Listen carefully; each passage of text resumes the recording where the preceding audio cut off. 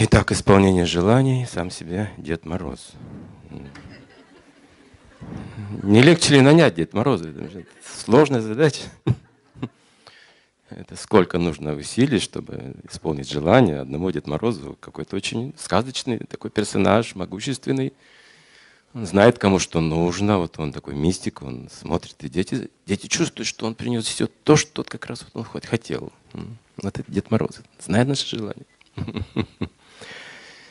Этот образ как бы люди создали, вот, как мечту, такую вот, особенно дети верят в это. Они подкладывают под елку подарки родители, а ребенок думает, что Дед Мороз принес, он верит в это. Вот такая сказка в такую жизнь, что вот жизнь так и должна быть устроена. Даже когда мы уже взрослые, наверное, кто-то должен исполнять наши желания. Но кроме Дед Мороза еще есть другая фигура. Тут она вот как бы в форме Снегурочки у нас такой образ. Вообще это удача госпожа удачи. Вот с ней мы сталкиваемся уже в исполнении наших желаний, в жизни ближе. Есть сам принцип перед нами жизни, что жизнь для исполнения желаний. Факт. Должны исполниться мои желания. Зачем иначе я живу вообще? Для чего? Чтобы исполнить желание. Но вот еще другой фактор – удача. Бывает, она как-то сопутствует, а бывает не согласована совсем. Такая вот вещь спорадичная – непостоянная, эфемерная, ненаучная какая-то, знаете, вот какая-то жизнь случайная, что вот повезет, нет, не знаю. Не могу опираться на какие-то точные знания, науки. Ну, во всяком случае, как современный человек, не могу, не знаю, не хватает у меня каких-то знаний. Вот эта нехватка знаний, она сейчас во всем ощущается в нашей жизни, во всех аспектах. Как бы мы не до конца образованы, что ли, жизни, мы не до конца доделаем все свои дела, мы любим начинать что-то новое, привыкли к новизне, но никакое дело до конца, то есть до счастья не доводим. Как бы вот тут мы где-то вот останавливаемся. В том месте, где уже надоело, или расхотел, или что-то увидел новое. И вот как бы бросил, пошел в другую сторону как-то. Вот. Ну, вот древние люди называли такое сознание – проходимцами. То есть человек, который тут просто идет, тут нравится, не нравится, не делает, развернется, уйдет просто в другое место. Вот он такой строптивый, как бы. А строптивый человек, говорится, он а, испортит любой коллектив, где находится. Семья ли это, род, место работы, где бы ни был. Разложение наступает там, где есть строптивый как бы, ум человека. Строптивый, значит, самолюбивый, эгоистичный, вот это хочу, не хочу, каприз у него. Чаще всего он капризничает, чем добивается чего-то, изучает, достигает. Как говорится, в этом мире достигают успеха только три типа людей. Остальные не достигают. Три, три типа людей – это секрет. Я не буду об этом говорить. Хотя для Омска, конечно же, скажу, понимаете. Тут небольшая аудитория, тут все все равно не узнают. Но это скрытый секрет, говорится, открытый секрет, можно говорить о нем, все равно не все поймут. Но три типа людей, которые добиваются всегда успеха, это ученые, первый тип. Вот, подтверждение есть. Сейчас готовьте второе подтверждение. Ученые достигают успеха, тут нам понятно с вами, действительно достигнут. Должны достичь успеха, он должен знать. Второе, герои достигают успеха, безусловно. И третья категория – слуги слуги тоже достигают успеха, если квалифицированы как слуга. Ну и в наше время вот эти три как бы фактора не изучены в нашей жизни, как быть ученым, я не говорю образованным человеком или информированным человеком, ученым человеком. Это большая разница вообще. Вот эта терминология современная, она сильно отличается от понятия как бы далеких прошлых, времен, мудрых времен, когда мудрецы именно вот излагали изначальные понятия. На этом изначальных понятиях держалось как бы образование. Сейчас понятия уже трансформированы, искажены, поэтому вот как сказать, ученый. Вот я говорю ученый, но у нас может лауреат Нобелевской премии ученый. Но он не ученый с точки зрения счастья, например. Его жизнь не научна, он тоже страдает, как и все, точь-точь. Образ жизни у него никак не выше, ничем он качественно живет не лучше, он также страдает, как и все, но он просто вот имеет умственные способности, умеет исследовать, запоминать, классифицировать, думать, вот он мыслитель. И только на этом основании, что у него способность к размышлению, его называют ученым. В современном мире это так. Просто кучу теорий сейчас вот люди выдумали, это все ученые называются. Они не работают, ни одна из теорий. Не проверены. Но это область науки. Поэтому нет, таким образом, вы понимаете, нельзя достичь успеха. Я сам себя просто обманываю, ввожу в заблуждение других людей, они какую-то надежду даю, но до конца довести их не могу. Нет знаний. Есть информация, есть какие-то другие способности, а счастья у самого нет. Поэтому, простите, принимайте все как есть. Вот. Ученый человек. Ученый должен знать науку о счастье. Значит, доктор, исцели себя сам. Мы сегодня об этом говорим. Я должен сам знать, как исполнять свои желания. Сам, сам, сам, сам. Я живу в мире достаточно оснащенным, чтобы исполнить все мои желания. Все, но достойные желания. На первом месте, конечно же, в развитии человека, на первом месте, это дхарма. Я разъясню кратко это слово. Вообще, иногда его перевод как религия. Я бы не хотел сегодня этот перевод представлять. Дхарма – ключевое значение – природа. Или, говоря более точно, конечно же, нравственная природа. У человека природа нравственная должна быть. Мудрая и любящая природа называется дхарма. У животных дхарма другая может быть. Неважно. То есть там нет мудрости любви, это у животных там может отличаться. Но тут уже дхарма, тоже как вот скажем, сахар соленый, сахар, простите, сладкий. Это его дхарма, это его природа. Камень твердый, это его природа. Вот это слово дхарма обозначает изначальную суть, природу. И вот тигр, он мясоед, понятно, это его дхарма, природа, но другим не будет. Это его природа, не осуждается причем. Он жестокий, убийца, хищник, но не осуждается. Нет кодекса уголовного для наказания тигров. И не быть не может. Животное невинно в этом смысле слова. Дается право быть таким хищником, быть таким жестоким убийцей. Однако у человека дхарма отличается от животного. Мудрость и любовь. Особый вклад в эволюцию, смотрите. Это может сделать только человек. Это называется дхарма или религия. Это другой перевод. Там много значений слова дхарма. Религия – это законы, которым должен следовать. То есть следовать своей высшей природе. Не низшей природе, а высшей природе. Это дхарма человека. Вот она. А низшая природа желания – это телесная, биологическая природа, вот как в животном мире тоже. Ну, похоже, что еда, я тоже ем, животное ест, совокупляется, обороняется. Такие же есть телесные природные склонности тоже дхарма, но подчиненная, говорится, дхарма. Почему? Потому что высшая дхарма дает артху. Низшая дхарма не дает арт. Артха – это экономическое процветание, исполнение желаний. Экономических пока. Пока просто, вот, чтобы мы жили в достатке, благополучно, мирно с соседями, за границей, на, на лестничной клетке, у себя в душе. Если мы следуем все дхарме, мудрости и любви, чего нам бояться всех? Не нужно никого бояться, все мы близкие люди на самом деле. Смотрите, у нас исполнение желания, мы никого не обманываем. То есть вся экономика процветания держится на искренности и честности. Вот и весь секрет процветания. На жадности мы можем только создать бедных, богатых, контраст. На зависти мы создаем различные политические формации и воюем. Коммунисты на зависти основывают свою формацию, капиталисты на жадности основывают свою формацию – и никто не основывает на дхарме, на любви и мудрости. То есть она так спорадично где-то, частично, фрагментарно у кого-то присутствует, где-то так иногда промелькивает. А организации нет такой организованной. То есть ученые знают, как это организовать, добивается успеха. Люди должны быть счастливы. Даже если жизнь трудна. Она будет трудна. Человек счастлив, когда он добровольно трудности принимает. Это особенно усиливает его счастье когда трудности в жизни, навязанные жизнью, вынужденные, это страдание называется.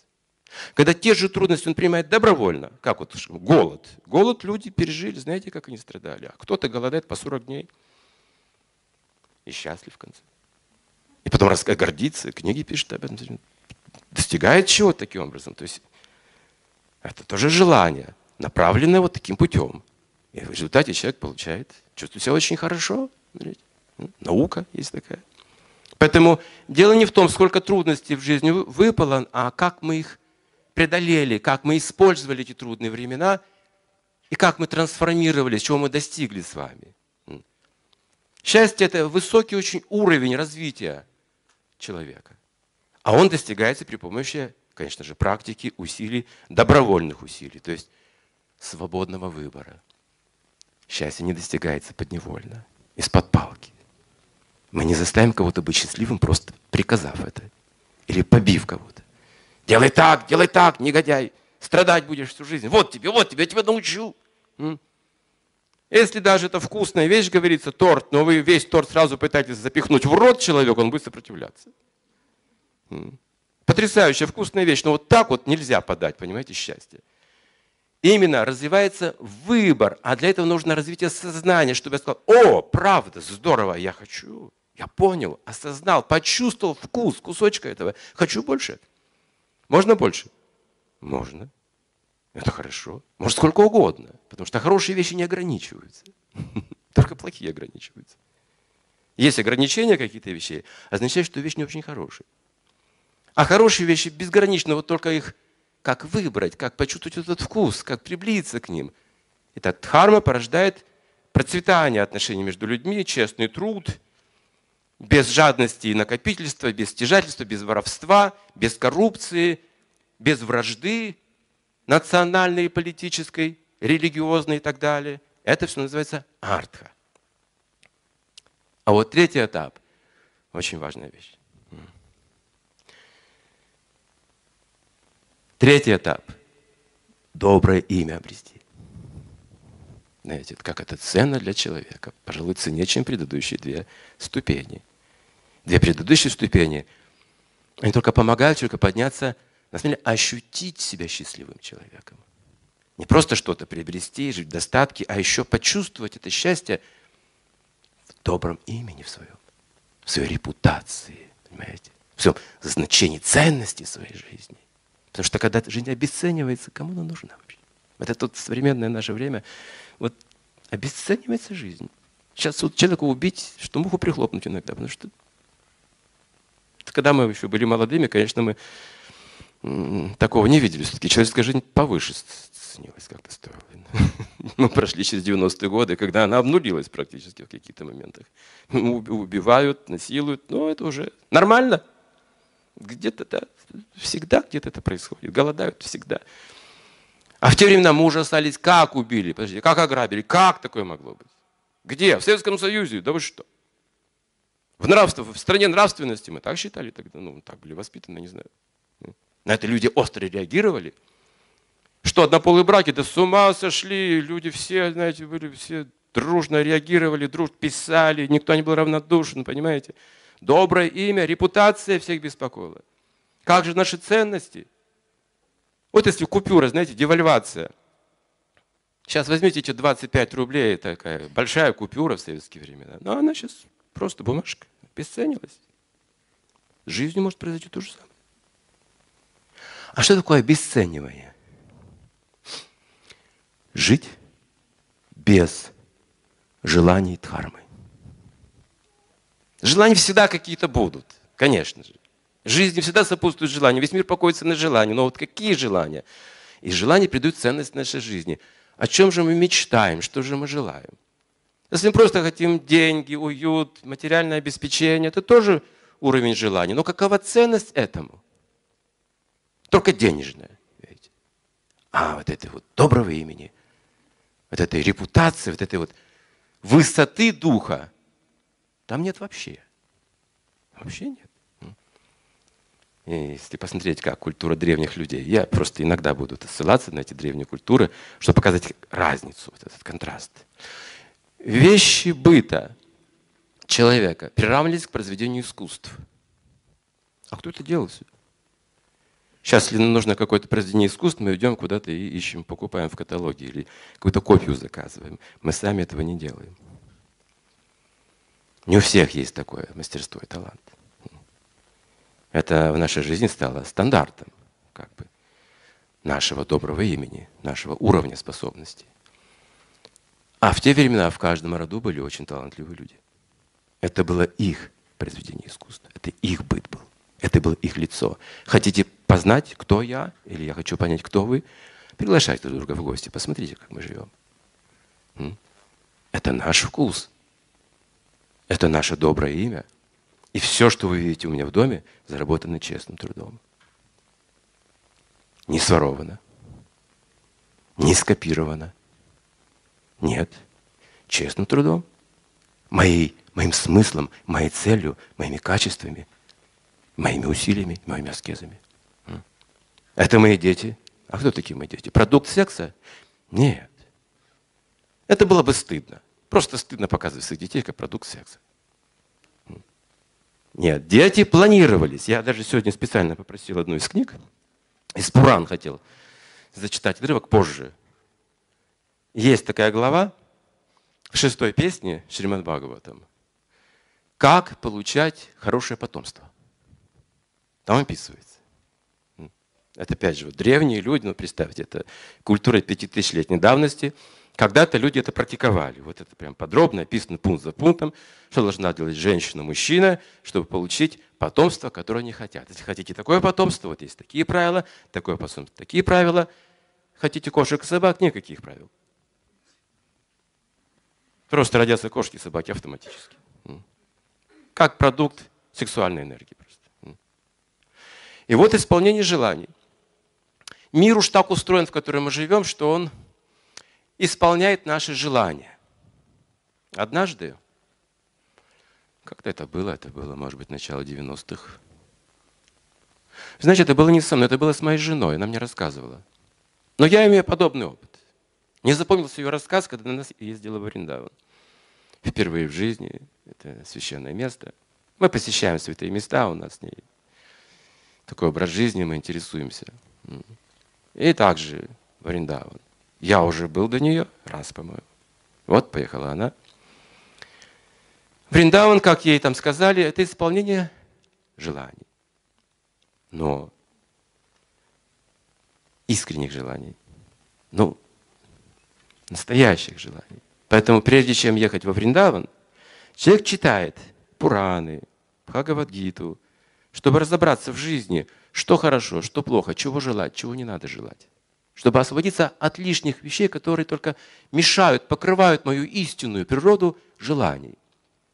На, настоящие мои желания, скрыты где-то в глубине. Вот если спросить любого человека, ну что тебе ну, по-настоящему нужно, трудно объяснить. Я сейчас лечу зубы. Зубы, я желаю получить зубы, конечно же. Хорошие. Ну хорошо, получил хорошие зубы. Дальше-то что? Дальше как я-то не думал, понимаете? Я все время думал только о зубах. А вот когда зубы получил, не знаю, зачем жить дальше. Может быть, чтобы зрение улучшить. Ну а что еще придумать? Что-то мне еще не хватает. Если мои желания на этом уровне э, сказать, уже, уже живут, закрепились, то я просто не знаю, что дальше делать. Ну хорошо, получаю это, получу это, получаю. А дальше, да. В конечном итоге что? Вот, поехали не во Вриндаван, и там одно место есть, очень сильное, могущественное место, прям вы его чувствуете. Знаете, как вы чувствуете это место? Если вы были, вы знаете. Если хоть раз были в священных местах, вы знаете, как они сильно влияют на ум человека, на его как бы вот сознание. Вдруг все ваши желания растворяются куда-то. Вы пустой. Как вот моя тетя родная. Она всю жизнь была атеисткой, сколько ее помню, ну, советские времена и так далее. Зарабатывала деньги, клубнику выращивала, там, продавала, ну, вот я как ее помню, работала где-то, ну, просто вот жила, как жила. И всю жизнь жалуюсь, что у нее вот э, мигрень, вот это вот, знаете, вот у нее какие-то головные боли страшные периодически ее мучили всю жизнь, вот сколько ее помню. И тут привезли икону исцеляющую туда, аж на Сахалин она приехала на север, в тот город, где жила моя тетя. Сейчас она живет в Петербурге. И она мне рассказала. То есть она уже поверила в высшие силы через меня больше всего. Вот, и через свою дочь, которая исцелилась от смертельной болезни благодаря имени Бога. С тех пор тетя стала христианкой, причем сильной христианкой, такой редкой христианкой. Но вот тогда она пошла в эту церковь вот молиться этой иконе. Народ там, говорит, просто повально, вот как я в этом году был в Петербурге, и там привезли тоже икону святую, там не знаю, где очередь была, наверное, километровая, там, и там и в креслах, и в каталках, и лежачих, и таких, прям все туда шли, шли. Люди как бы верят в эти вещи исцеляющие, идут туда, потому что есть хорошие примеры. Вот она тоже пошла, и там ночную отстояла, говорит. Вот она мне э, рассказала, как, как это с ней происходило. Я говорит, думала, что я там буду просто, знаете, ну, страдать всю ночь, да? Э, спать захочу, сознание может где-то потерять, голова разболится. Не, говорит, как минута пролетела. А потом я говорит, прихожу домой и легла спать. Просыпаюсь, а я внутри пустая. Вот это соприкосновение с чистым. Все желания нечистые уходят. Боже мой, как хорошо. Говорит, я внутри пустая, с тех пор голова, говорит, не болит. Я сейчас 82 года. Погружается с аквалангом на 20 метров. Да. И летает на парашютах этих, знаете, вот с катерами. 82 года. Вообще ничего не боится. Веселая, хохочет каблуки, у нее прическа, губы накажет на работу. У нее энергия, понимаете, пустая, говорит, все. Мне, говорит, сейчас ничего не мешает жить, как я чувствую, согласно своей природе. Я, говорит, всю жизнь думала, как делать то, как это, как все, как вот не как все, как тут, как тут, много всяких. А я, говорит, я внутри пустая. Что-то, говорит, со мной произошло. И вот моя жена говорит, мы пришли в это место, и я, говорит, пустая. А наш гид говорит, вот тут загадывайте желание. А мы, говорит, все пустые. Потому что здесь все желания исполняются. Но, говорит, отвлекись от всех каких-то вот таких вот поверхностных желаний. Друзья, враги, там деньги, экономика, там обиды. Вот это, это все устраняется в святом месте, просто ему помогает само место благотворно. Просто если вы пришли туда, вы уже совершили, совершили большой благочестивый поступок. Говорится, просто с ногами пришли, даже случайно, если оказались там. Если даже вы говорите, я хочу в такое место, вы уже очищаетесь. Как они устроены, эти святые места? Просто одно только желание уже человека возвышает. Его и желание возвышает. Что еще возвышает человека? Только желание возвышает.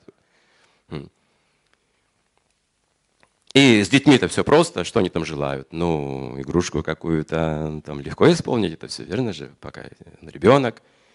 Может быть, конфеты какие-то особые, что мы еще желали на Новый год. Мандаринов, конечно, всегда мы желали на Новый год.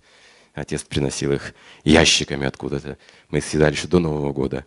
И он еще ящиками приносил. Ну, как дети, мы вот желаем, чтобы блестящие игрушки были на елке, вот чтобы блестело. Ну, много ли нужно ребенку? А потом, ведь этот образ дается, Дед Мороз это не случайно. Это же мудрость человеческая тоже. Человеческая, но это мудрость. Возможно, она не какая-то сверхбожественная, но это человеческая мудрость. Ведь это же образ добрый, добрейший образ Дед Мороз, как его все любят. Это же сама олицетворенная доброта. Он для всех, Дед Мороз, для всех исполняет желания. Понимаете? Вот есть же кто-то такой. Вот этот образ ценен очень. Даже не само желание, а вот контакт вот с этим вот таким священным своим Санта-Клаусом. Санта-Клаус, вот святой Клаус.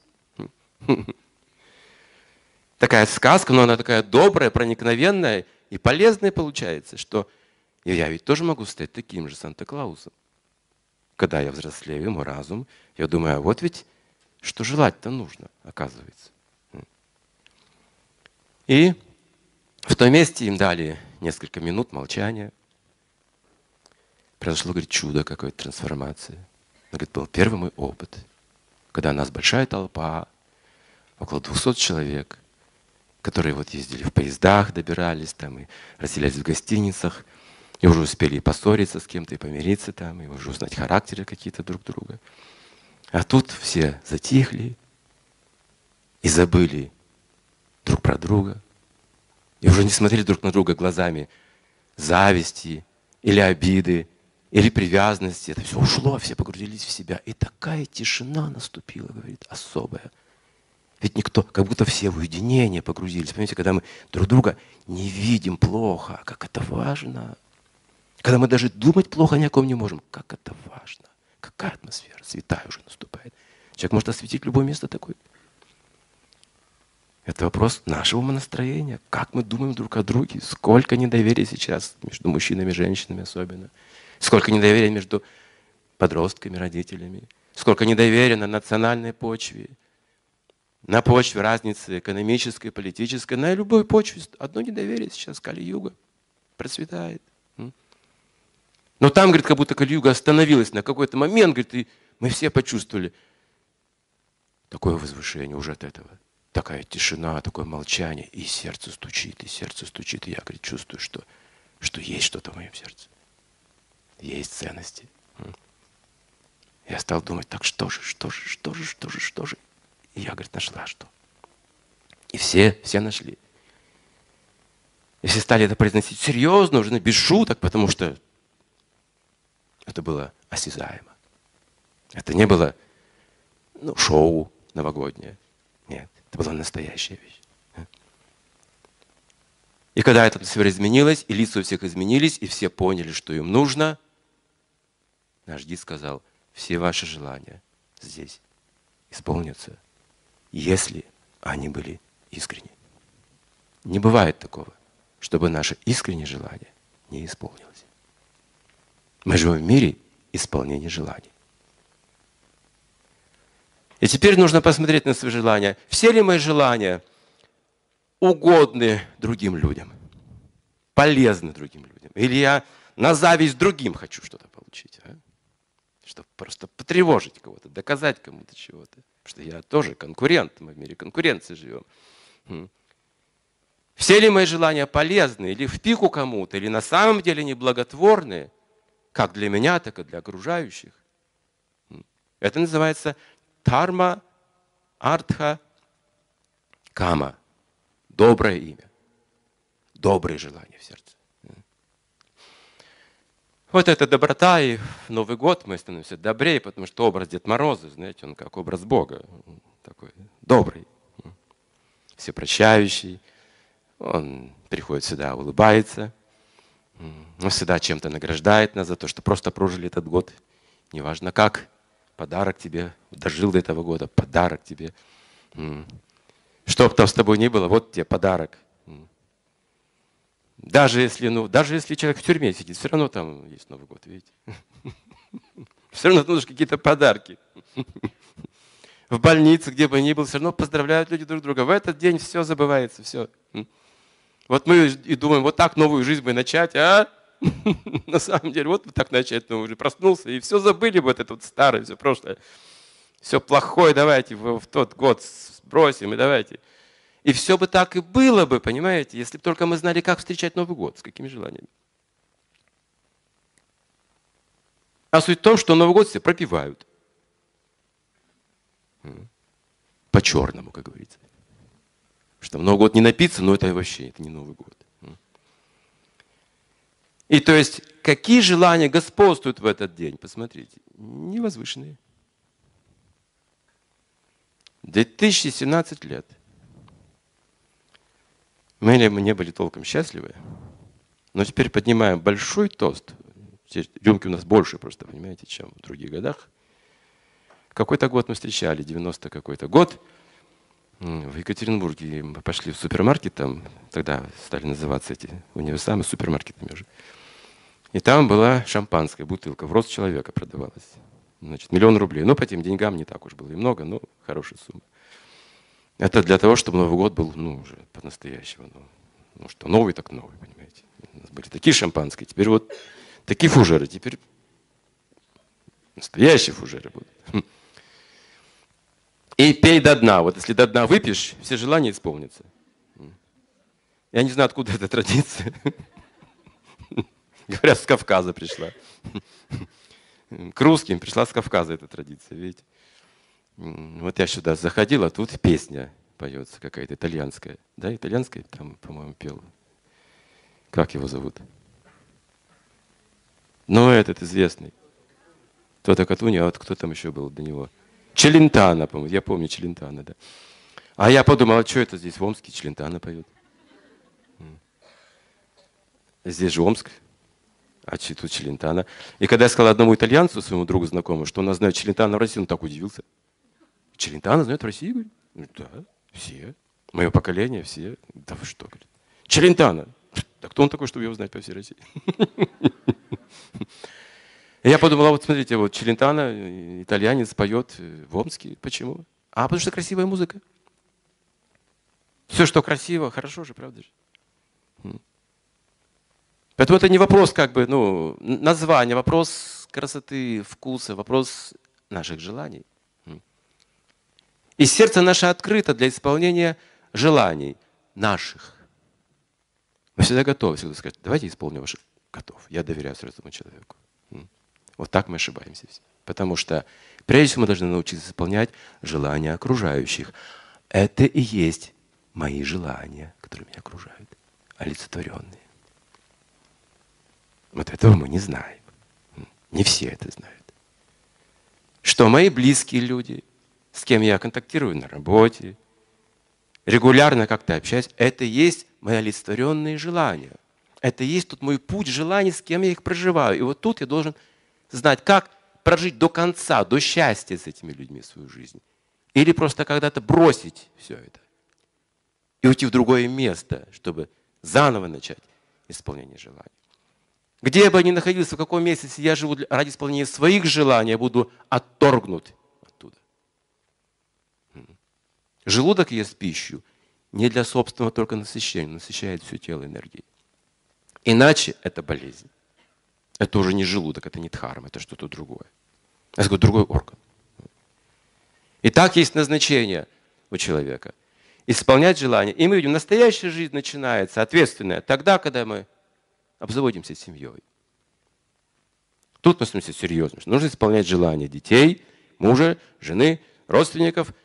Просто обязаны это делать. Как это? Наша обязанность. Любовь соединила нас. И вместе с этим сразу столько обязанностей, столько всего нужно делать. Хочу, не хочу, через силу, как бы то ни было, но делай хорошо. Готовь вот обед каждый день. Дети будут есть каждый день, простите, не один раз. И не просто готовь, а хорошо готовь, потому что они потом скажут, есть не буду, сама ешь все это. Это самые лучшие критики дети, знаете, они всегда честные. Вы их не подкупите ничем. Они скажут, вот, вот, вот не хочу есть. Я так часто делал. Если что-то мать невкусно готовила, говорит, ешь сама, все, и ушел. Она так переживала, голодный, ну куда же ты пошел, иди, я подсолю, что-то мне хватает. Я говорю, нет, вообще не хочу, так плохо готовишь. Вот уже моя тетка вот эта, уже так со мной не общалась. Я был младший в семье, знаете, так вот сяду так вот утром за стол, перед детским садом, например. Вот. Сижу, и стакан стоит. Мать и смотрит на меня, и, значит, льет заварку. А я, значит, палец держу. Там должна она остановиться. Если вот на миллиметр выше или ниже, все, я отказываюсь. Потом она вот так вот так смотрит на меня, осторожно, четко. Раз, она уже отработана у нее. Точно. Так, следующий. Кипяток, вот до этой отметки. Так, хорошо. Теперь сахар, столько ложек. Все, теперь я доволен. Можно поесть, попить чай. Однажды мать меня оставила тетке этой. Я до сих пор это помню хорошо. Исполнение желаний. Я также сел, значит, так палец поставил. Она так смотрит на меня и так смело наливает. Слишком, знаете, смело вообще, как пренебрежительно к моей персоне. Я говорю, много, отливай. Она отлила. Мало, доливай. Много, отливай. Бах, подзатыльник. Все, съел, выпил все, что было, не глядя исполнение желаний. Сейчас я думаю, а нужно было сосредотачиваться на этом на всем. Вот на этом нужно было так вот зацикливаться, потому что это уже будет паранойя, не так ли? Много, мало, много, мало, много, мало. Это паранойя уже просто. Иногда мы доходим до такого уже болезненного настроения. Вот, вот чуть-чуть какое-то неудобство, я уже не знаю, как жить, не знаю, как общаться, уже все плохо, все, все, не хочу жить вообще. Поэтому веды говорят, от этих желаний нужно очистить сердце. Они могут быть на поверхности ума, на поверхности кожи могут быть желания. Они могут быть желания на уровне прически, но не в сердце. Таким желанием в сердце места нет. Сердце нужно очистить эти желания. Нужно быть добрым, даже если прическа не удалась. Если даже рылом не вышел, все равно нужно быть добрым. Вот такие условия, видите? Вот он человек, и уже в деятельности, в отношениях проявляется его чистота, его сияние этих желаний, как он служит окружающим, как он понимает окружающих. Ведь важно понять не просто, как тебе сделать красивую прическу, а важно понять желание твоего сердца. Дорогая, ты хочешь красивую прическу? Да, тебе 16 лет, понятно. Тебе 17 лет, конечно, ты хочешь хорошую прическу, ты что-то увидела, эти красивые волосы, видела рекламу, видела там что-то такое. Да, да. Но на самом деле за этим желанием есть какое-то другое желание. Ты хочешь выглядеть красиво, ты хочешь впечатление произвести хорошее. Верно же, ты же хочешь привлечь хорошего человека. Наверное, ты хочешь спутника жизни найти таким образом. А давай подумаем, а возможно это при помощи красивых волос найти спутника жизни? Нужны сокровенные разговоры. Мы не против. Хорошие прически, это, значит, это культура. Это тоже уважение к окружающим. Нехорошо приходить в неопрятном виде э, на люди. Это тоже культура, их важная культура. Но насколько мы зависимы от этого, что же мы за этим хотим, за эту культуру? Смысл культуры человеческой не беспокоить окружающих своим поведением или запахами даже. Вот нужно мыться, расчесываться, это понятно, быть приятно, выглядеть. А что же дальше? Зачем мы это делаем? Мы не беспокоим друг друга, чтобы понять более наши глубокие желания. Ну. В ведической культуре, когда мы посещали такие места, мы видели очень контрастные вещи, шокирующие вещи. Потому что культура для разных укладов жизни, она разная. С одной стороны, есть культура семейных людей, где они могут принимать омовение дважды в день, одевать одежды с золотом и серебром, там, одевать перстни, красивые головные уборы. То есть вот эта индийская древняя культура, если ее увидите, она сказочная. Они приходят в общество, знаете, они выглядят как из сказки просто. Их поведение, их манеры, они потрясающие. Я не говорю, что все там сейчас Индия довольно европезирована, но вот я говорю, вот эти вот моменты культуры, они еще где-то присутствуют. А с другой стороны, садху какой-нибудь придет, лесной отшельник. Ужас. Волосы скручены вот так вот, все, все вымазаны коровьим навозом, высохшим уже, знаете, вот такая шапка на голове. Борода, ногти, глаза такие, знаете, испепеляющие все вокруг. У него другая культура. Никто не шокируется, все знают, это саду, это отшельник. Для него это нормально. Дело не... Там нет культа одежды. Там нет культа духов. Там есть смысл этого всего. Кто и для чего и когда это использует, есть назначение. Осмысленное желание должно быть своевременно. Если вам 16 лет, понятное дело, вы сейчас должны влюбиться, дружить, думать вот о философии брака. Вот в этих отношениях вы чувствуете их с огромной силой. Вы начинаете жить этой жизнью уже. При этом вы видите все очень чисто, возвышенно как раз. Это как раз этот период времени, чистый период времени. Там еще нет этого грубого вожделения, а там платонические чувства, такие бережные вещи. И вот это хорошо. Но если вам 65 лет, и вы влюбляетесь в какую-то малую девушку, она нас просто будет убегать. Не своевременно. Может быть, обмануть время, подтянуть кожу, подкрасить волосы, вставить зубы. Еще страшнее будет.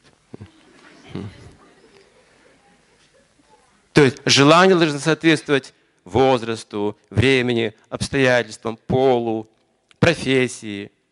Ну, например, например, мы же, мы же, мы же не сумасшедшие. Ну, смотрите на себя в зеркало и думаем, ну, не Брижит Бардо, не Ален Делон, нет. Я просто вот не помню других сейчас современных киноактеров, таких красивых, известных. Я старых помню. Ален Делон был тогда кумиром для всех девчонок моего времени. Не для всех, но для многих. И вот мы смотрим в зеркало, и мы видим, ну, не совсем то, что надо.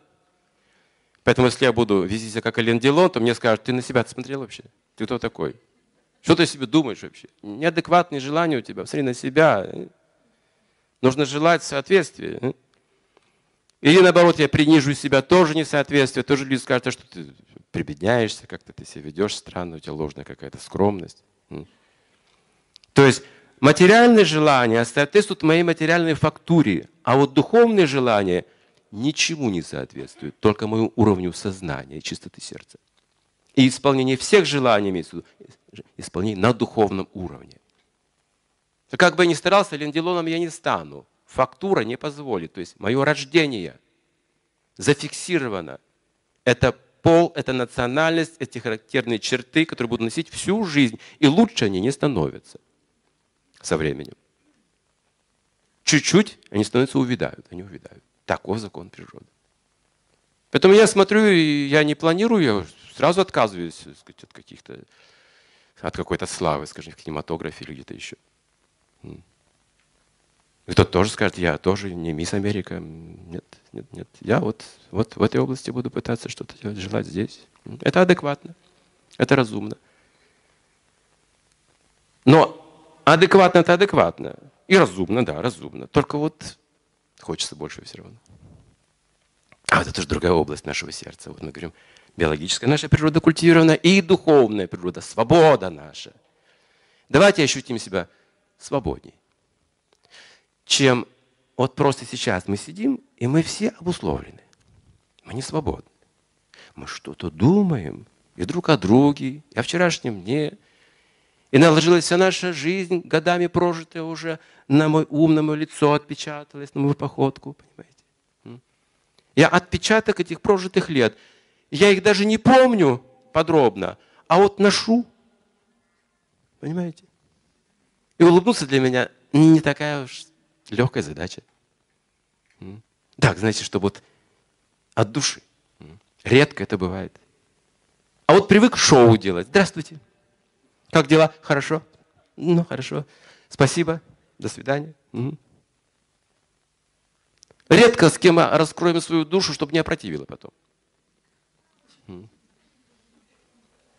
Потому что если мы раскроем свою душу, там начинаются и также недостатки какие-то. А вот куда их денешь близких отношениях? Поэтому, с одной стороны, нужны такие отношения близкие, а с другой стороны, мы обусловлены природой недостатков. И вот сейчас нужно, сейчас же Новый год у нас, нужно забыть. Если мы хотим Новый год начать, новую жизнь, Нужно забыть свою обусловленную природу. Нелегко это. Но веда идут рекомендации. Я хотел кое-что вам показать. У меня здесь нет отметки, я сразу не найду. Угу. То есть, если мы хотим, если мы хотим новой жизни, ну, лучшей жизни мы хотим, конечно же, не просто новой жизни – нужно соприкоснуться. И не раз. А скажем, ну, вот сейчас начнем с этого дня. Сколько осталось дней до Нового года? Сколько? Кто считает? Так, чуть больше недели осталось. Вот как раз неделю можно посвятить этой практике. Но одно условие для тех, кто не будет пить на Новый год. Пить только сок. Все улыбаются молча. Думают, ну я послушаю, потом решу. Обещать сразу не буду, понимаете. Может, я даже пообещаю сейчас под впечатлением, знаете, но когда придет Новый год, э, я не знаю, что со мной будет. Если я не упью на Новый год, я уж так такое получил, понимаете, представление, что моя жизнь в Новом году не сложится как-то. Уж как приведешь Новый год, так ведь и весь год будет. Насухо весь год, ну хорошо. Мы с женой уже не пьем 33 в этом году. 33 года. Вообще никакого спиртного. Ни пива, ни шампанское, ни водки. Что еще? Ни вина. Даже по праздникам. Даже в Новый год. Даже вот, ну ни капельки. Даже в тайне друг от друга. Как-то не расстраиваемся, знаете, вот насухо. Это хорошо. Но недостаточно. Потому что если вы просто не пьете в Новый год, потом будете ненавидеть всех. Они-то пили, понимаете? Они-то пропили нормально свой Новый год. Вы скажете, а вы все пьяницы. Вы будете их критиковать. Вы возгородите, скажете, я вот не пил на Новый год. А вы так можете? То есть я начну себя противопоставлять другим. Это, получается, философия Гитлера. Он так читал Веды. Он был вегетарианцем, видите, к добру не привело. Потому что, видите, вот так это в зависти выразилось. Ну, так или иначе, трансформировалось не в нужном русле. Поэтому недостаточно, конечно, просто не пить. Но поэтому давайте вот эту неделю мы посвятим практике исполнения желаний. Неделю нужно жить чисто. Это трудно. И тут много правил дается в этой главе. Все эти правила выполнить невозможно сейчас. Я их сведу к принципу. Почему я могу свести это к принципу? Почему я беру на себя такую ответственность? Ну, потому что я практикую это. Ну, вот, свои 33 года. Мистическая цифра, кстати, 33, только сейчас задумался. 33 года практикую. Ну ладно, хорошо. 33 года я практикую, то есть я что-то стал понимать в этой области, в образе жизни. Не сразу, не сразу. Сначала практиковал просто ну, механически, ну, просто написано так, ну, так делаем правила. И также я практиковал не один, с женой вместе, были друзья, нашел таких-таких людей, которые от них я ну, узнал об этих всех принципах чистых. И мы вместе это практиковали, видели, что они не обеспокоены другими желаниями, у них очищены от этих лишних вот желаний, которые человеку не нужны, на самом деле не нужны. Они просто его тревожат, беспокоят, тянут куда-то. Такие друзья, знаете, непрошенные получаются. Как привязанность больше это, чем желанное что-то. Навязчивая природа. Как вот попробуйте бросить курить. А вот нет, уже трудно. Уже что-то навязчивое, зависимость появилась. Также с алкоголем зависимость появилась. Наркотикам еще большая зависимость. Сейчас интернет – зависимость. ТВ – зависимость. В браке зависимость от своего эго, зависимость. Не уступаю никому, дерусь, понимаете. Я зависим, зависим от этих вот привязанностей. Это уже даже нежеланные вещи. Я сам понимаю, что это не то, что не желаю, а я завишу от них. Они взяли надо мной власть. Эти мои когда-то бывшие желания стали моей проблемой. Поэтому не все желания, конечно же, мне нужно культивировать. От каких-то желаний нужно освободить свой разум, свое сердце. И как? Здесь даются примеры. То есть в течение года, ну, я расскажу маленькую историю, коротко об этом сюжете, который здесь пишется. То есть когда-то, очень давно, на заре творения, в этой вселенной, Дити и Адити, две сестры были, богини. Ну, в сфере Вселенной есть много, и иерархия существует. Богиня это не Бог, это вот могущественные личности. Про Джапати, про родителей там есть. Вот Дити, о которой речь пойдет, жена Кашьяпы, Муни, великого мудреца Вселенной, она стала матерью демонов, а Адити матерью божественных сущностей. Поэтому в этом вселенной изначально есть демоны и полубоги, божественные и демоничные, суры, асуры их называют. Они настолько могущественны, те и другие, что к уровню почти богов вселенной их приравнивают. Могущество такое. Но Бог один. Это вот просто как вот иерархия, так скажем. Как вот есть министры, есть царь один, но есть министры, там, парламент есть, все, есть целая структура. И Вселенная тоже такую структуру представляет. И первый, кто родился у Дити, это были самые великие демоны, самые страшные.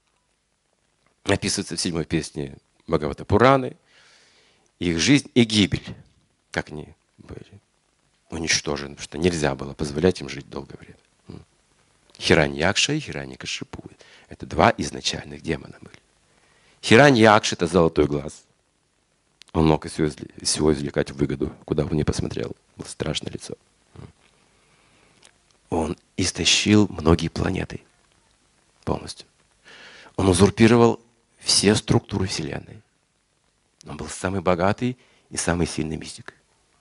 Никто не мог ему противостоять. Он просто ходил, развлекался, искал себе соперника для боя, не мог найти, все разбегались. Это был Хиранякши, первый такой, старший. Двойня была. А второй Хирания Кашипу. Хирания – это золото, Кашипу – мягкая постель. Который играл роль Бога наслаждающегося в этом мире. Бог это наслаждающийся, Пуруша по определению. Вот он играл такую роль, наслаждающийся. Золото и мягкая постель, это был его образ жизни. Все свои мистические силы, все знания, все вот эти, знаете, могущества он для этой цели использовал. Как наслаждаться, лишь наслаждение из этой жизни материальной. Выше, чем Хираника Шипу, никто не может наслаждаться. Говорит, он был высшим эталоном. Им принадлежала вселенная этого времени. Этих демонов убили. Индра, царь полубогов, молился Вишну со всеми полубогами. Они были угнетены этим правлением демонов, были несчастны, они молились искренне, от сердца они стали очень искренними. Они лишились богатства, они лишились престижа, они лишились положения, они полностью стали, знаете, как, как святые. И голос услышал их там, Вишну, и сказал, я сам помогу вам. И он, этот Вишну, в этих двух воплощениях убил того и другого демона. Последовательно. Сначала первого, потом второго. Идите как мать. В это время, когда ее детей убивали, у нее из груди вместо молока кровь полилась. Она так все чувствовала, эту боль материнской утраты. Это были ее дети, так или иначе. Она подумала, это все из-за Индры. Она не могла обвинять Вишну, он беспристрастный. Но Индра, он ради собственной славы это делает. Потому что мы родственники все, дети, а дети, мы сестры. Да, у них разная природа, демоны, полубоги, но все имеют право на жизнь. Он находил многие аргументы. В конце концов, это мои дети. Теперь я отомщу Индре. Я хочу родить сына, который будет в сотни раз сильнее Индры и убьет его. Убьет Индру. Проучит этого гордеца. Это сластолюбство мошенника, завистника. И с этим желанием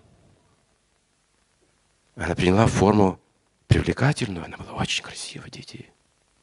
Это была божественная красота, это было назарет творения. Она стала служить мужу. Она только улыбалась, она предугадала все его желания. И он был заворожен ее красотой, ее обаянием, ее преданностью, вот этой ее женственностью, как жена, она достигла совершенства просто. В какой-то момент он сказал Кашьяпа, дорогая жена, я вне себя, твоих качеств вообще, ты меня покорила, мое сердце. Твое обаяние, твой разум, твое служение, твоя преданность, твои качества. Проси, что хочешь, я могу исполнить любое твое желание. Мудрец, вселенная, Кашьяпа. Сам живет в простоте, говорит, а твое желание исполню. Любое, какое хочешь, я могу. Я, я могущественный мудрец. И вот тут Дити сказала, я хочу от тебя иметь сына, который убьет царя небес. Кашьяпа тут же передумал. Он сказал, женщины, им нельзя доверять. Как же я поддался, я же мудрец. Ведь любая женщина, она принимает мужа только из-за выгоды. Ради собственного блага она может чем угодно пожертвовать. Женщина выбирает мужа, просто который сильнее, который удовлетворит желание. Ну ладно-то она, она женщина, понятно с ней все. Но я-то мудрец, как я мог поддаться на ее чары? Ну я сейчас использую свой разум. Желание ее должен исполнить, что я обещал. Какой я мудрец, если я не исполняю свои обещания? Обещал, нужно сделать. Да, она неразумная женщина, она хочет такие вещи.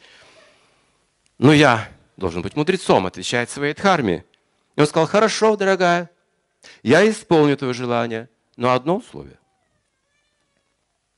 В течение года, а может даже более, будешь исполнять некоторые правила, которые тебе дам. Если ты исполнишь все эти правила в точности, в течение года, не нарушишь ни одного правила, родится именно такой сын, которого ты хочешь. Если ты нарушишь хотя бы одно из этих правил, родится могущественный друг Царя Небес Индры. Не враг, а друг. Дети сказала, будь уверен, я в точности исполню все твои правила и предписания. И вот тут целая глава описывает, какие правила и предписания Кашья подал Дити. Если в целом их все как бы обобщить, потом сами можете прочитать эту главу, если захотите что дети не должна была соприкасаться с нечистотой и жить очень смиренно весь этот год. Например, не спать, когда восходит солнце и когда заходит солнце. Если вы спите на восходе, на закате, проявляйте неуважение к солнцу. Есть такое правило. Не смотреть даже на нечистые предметы. Не то, что там думать, не смотреть, не касаться их никогда. Не есть объедки чьи-то или пищу, приготовленную неправильно. И он ей выдал все высочайшие принципы чистоты Кашьяпа. Говорит, вот при этих условиях в течение года ты заслужишь нести вот этот мощный плод, мощное семя. И родишь очень могучную личность. Видите, они планировали это. Они знали, как создать. Сейчас у нас в стране не хватает честных людей. Хотя в Омске их больше, чем где бы то ни было. Могущественных, честных людей. Где их взять? Родить надо. Вот, вот, этот, вот эту неделю этого года мы посвятим как раз этой практике. В Омске как раз начнется вот эта вот новая жизнь, возрождение, могущественные, честные, добрые, нормальные, мудрые люди начнут появляться. Потому что вы уже будете практиковать всю эту неделю принципы, описанные в этой главе. Если свести опять же вот к такому как бы, моменту, сейчас трудно э, смотреть на что-то неоскверненное, что все осквернено уже. Если Кали-юга, да, в котором время мы живем, то сейчас трудно понять, где чисто, где нечисто, потому что смешано. Смешано, смешано, смешано, много раз смешано, поэтому как отделить? Вы видите чистый, но там тоже есть какая-то примесь. Видите нечистоту, и в то же время там есть хорошая примесь. Видите плохого человека, но у него все равно есть что-то хорошее. Видите хороший человек, это все равно есть что-то плохое. Вот как вот тут, тут быть там? Поэтому сейчас они умещаются в четыре. Это тоже в Пуранах, это тоже научно, как бы в Пуранах описано. Четыре главные вещи – это не есть мясо, рыбу, яйца. Не принимать никаких интоксикаций. Не играть в азартные игры, махинации денежные. И не заниматься незаконным сексом. В течение восьми дней. До Нового года. Я, я думаю, что можно и больше, если кто-то будет во вкус. Но здесь сыграет интересный фактор само время сейчас вот эти 8 дней, если вы всерьез это воспримете, кто-то, эти 8 дней, они предновогодние, поэтому вы будете это делать с верой.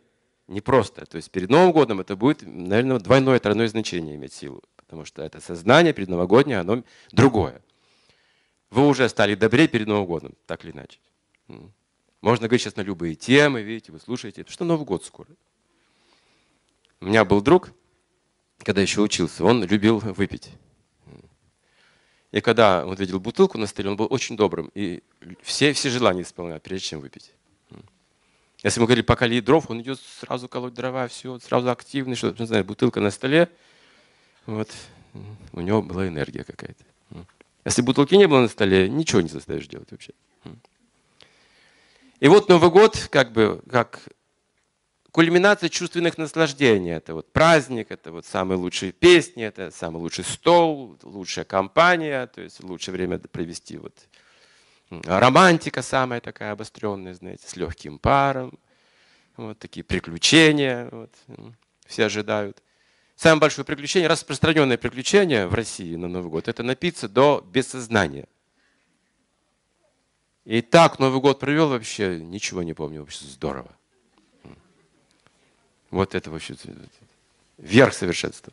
Но мы сегодня говорим о том, чтобы отказаться от этих желаний перед Новым годом. Это именно требуется сила определенная, решимость. Это необычное время, когда родственники вас хотят даже заставить выпить, если даже вы не пьете. Они будут стимулировать вас ради счастья, за меня, ты меня уважаешь, прочие вещи они будут говорить. А вы говорите, нет. И портите им весь праздник вообще берете на себя такую смелость, знаете, испортите весь Новый год, и они это запомнят на целый год, понимаете? Это революция, если на Новый год вы не выпили с другом. Но вы понимаете, какой риск вы на себя берете? Вот зря вы пришли на эту лекцию, правда? Хотя многие из вас уже давно все практикуют, я вижу тут. Э, давно это уже делают, не страшно. Наверное, уже родственники знают многие. У нас, у меня есть знакомые, которые э, поженились вот с этими принципами уже. И вся родня приехала туда на свадьбу. Они им объявили безалкогольная свадьба, без мяса и прочее. И думали, ну вот все, потеряли родственников. Все наши традиции, все наши обряды. Но свадьба была потрясающей. Они глазам своим не поверили, что можно такое счастье испытать, оказывается, если правильно общаться в это время. Использовать это торжество для возвышения духа. Где-то была программа, может, это было Тюмень давным-давно, я помню. Программа подобного рода, тоже перед Новым годом. Они же этажом там уже Новый год провожали как бы. И там все это гремело, знаете, на протяжении всей нашей лекции там такой гром стоял. Вот. Но мы как-то довели до конца то, что мы хотели. Мы поговорили, тоже попели там, как-то все у нас было хорошо, торжественно, возвышенно. И потом нужно было спускаться через этот зал на выход пройти. Вот этот контраст мне сильно вот врезался. Контраст именно. А атмосферы какие разные бывают атмосферы. Мы там почувствовали, что все, праздник самодостаточный, нет никаких желаний, таких, знаете, все хорошо очищено, знаете, такое очищение получили. И тут спускаемся вниз, и там грохот, вибрации, полы трясутся, знаете, и люди все тоже трясутся. Красные все какие-то. Глаза у них вытрачены. И там мужчины и женщины парами друг перед другом трясутся. Особенно одна женщина так тряслась перед кем-то, знаете. Под музыку. Трясутся, трясутся, трясутся. И я понял, что уже праздник только начинается, потому что они уже знают, куда потом пойти дальше, где продолжить это все. Вот этот контраст не сильно врезался как бы в память. И, собственно, цель, желание праздника получается. Единственная главная цель – это секс. Новый год или день рождения без секса – это не Новый год, это не день рождения. Это не праздник. То есть, по сути, получается, к этому все сводится, хотя человек, может быть, это не планирует, не думает. И для этого этому служат некоторые вспомогательные вещи. Почему люди пьют на праздник? Развязывается чувство быстро. Мы говорим, вот мы обусловлены, давайте сейчас забудем. А как это сделать быстро? А просто бабах, пару рюмок. И все, и вы уже все забыли. На другом уровне ведь это можно осуществить. На физическом, на химическом уровне это можно осуществить. Не на нравственном уровне, не на каком-то там усилии аскезой, не какой-то чистоты, а на химическом уровне путем торможения некоторых центров. Человек раз и отключается, но нижняя чакра не отключается. Да, она активизируется. И люди начинают вдруг разговаривать свободно с незнакомыми людьми, очень быстро обниматься начинают, мгновенно контакт находят, понимаете, потому что чакра нижняя так работает. Разум практически отключается. И совсем другое дело, когда вы общаетесь в праздник, потому что праздниковое назначение сверху он спускается, не снизу, не с адских планет, а с высших планет праздник спускается. И когда праздник правильно, правильно проводится, в соответствии с чистотой вы соприкасаетесь умом, чувствами, взглядами, вы не различаете мужчин и женщин больше. Ни возрастов, ни наций. Вы одухотворяетесь. И нижняя чакра под контролем вас абсолютно не беспокоит. Ничто не беспокоит. Свобода. И в этой свободе вы знаете, куда идти, что делать. Все. Вы можете свободно достигать любых целей. В этом сознании достигаете, чего хотите, любых целей. Конечно, это требует некоторых усилий, подготовки, потому что есть привязанности, есть навязчивая какая-то природа, которая требует своего, давит на нас в форме привычек, желаний или общества. И тем не менее, каждый свободен в этом выборе. Каждый обладает этой силой выбора. Мы этому учимся. Жизнь как раз та самая школа. Что же мы выбираем? Всякий раз мы хотим начать жизнь заново в Новый год, но всякий раз проводим ее одинаково. Где же сила наших желаний? Может, просто мы еще не знаем, как его провести. Тоже бывает так. У меня было такое состояние до того, как я встретился с этой литературой, с этой практикой. Мне было состояние, что я нечистый. Иногда я фантазировал тогда, юношески, думал, вот был бы такой бассейн мистический, куда бы я окунулся, бы вылез бы нормальным человеком оттуда. Ну, чистым, то есть каким-то. С чистыми мыслями, чистым физически. Вот какое-то загрязнение у меня от чего-то. Так я говорил. И потом я сказал своей жене, ты знаешь, я чувствую себя нечистым. Он говорит, почему? Я говорю, я еще не понял, почему. Мне было тогда 25. Я говорю, я еще сам пытаюсь понять, почему вот я вот это чувство у меня. Но причем сейчас увеличивается. Я говорю, раньше такой остроты не было, иногда было. А сейчас практически каждый день я себя чувствую нечистым. И вдруг на работе в очередной раз за обедом. Я понимаю. Вот она нечистота. Это же пища, которую я ем. Как я этого не видел. Вот всякий раз после этой пищи это усиливается. Я говорю, потом жене сразу же пришел домой, говорю, слушай, давай откажемся от мяса. Она мне говорит сразу же, давай. Я не ожидал такого. И вы знаете, это чувство сразу стало уменьшаться. Как бы вот, но мне потребовалось время, как бы вот трудно это было сразу определить. В чем же причина этого угнетения какого-то? Вот я хожу с какой-то нечистотой. Есть другие примеры, это пища. А есть другие примеры, когда, когда есть зависть и плохо. Я вращался в богиню художников всегда. Причем такого высокого уровня художников. У них учился, потому что я подавал надежды, как-то ну, на меня так смотрели. До сих пор я занимаюсь искусством, я так, довольно серьезно к этому отношусь. Когда у меня есть время, я поглощаюсь тоже этим. Сейчас я тоже пишу образы определенные, духовные, стараюсь. Сейчас у меня немножко больше даже времени появилось для этого. И, конечно же, я видел этот мир отношений сложный, Моцарт и Сальери. Моцарт и Сальери повсюду. И тоже можно подумать, ну откуда эта нечистота? Вот я вот живу, знаете, как-то вот ну, радости все меньше и меньше. Но посмотрите туда, вот за эту неделю. Скажите, боже мой, вот она, зависть моя. А я с ней жил. Так как же я могу чувствовать себя хорошо? Это же яд в моей крови. Она вырабатывает этот яд постоянно, и мне плохо. Нужно прекратить эту зависть просто. Эти желания, завидовать кому-то. Это тоже желание. Но я свободный человек. Почему должен подчиняться этой зависти, этой энергии, и пускать в свое сердце ее? Я же человек, я же не животное кровожадное. У меня есть свое достоинство, своя любовь есть, своя мудрость есть. Надо ей пользоваться. И если любви больше, да, хорошо, но любовь должна быть сентиментальной, еще одна подножка будет. Наивная сентиментальная любовь, она приведет к наказанию, к сильному разочарованию и боли, к обману. Наивные вещи наказываются очень сурово.